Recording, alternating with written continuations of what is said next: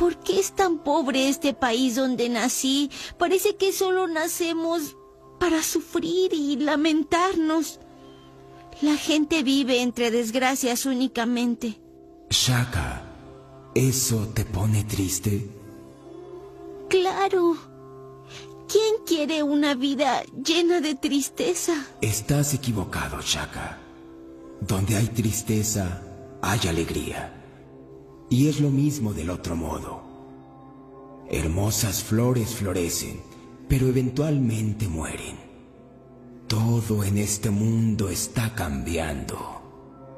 Siempre en movimiento, nunca igual. Todo cambia.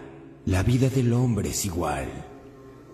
Pero si la muerte es inevitable, entonces debe ser que la tristeza es quien domina nuestras vidas. Aun cuando superemos el sufrimiento, busquemos amor y felicidad, la muerte nulificará todo. No entiendo.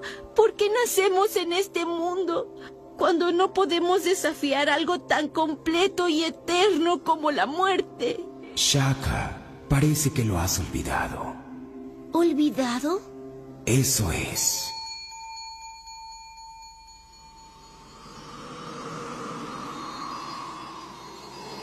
Eso es.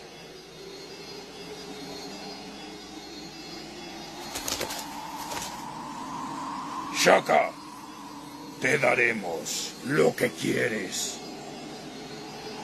La exclamación de Atena.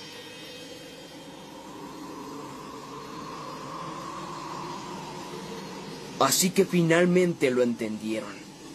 Pero me temo que es demasiado tarde. Un golpe más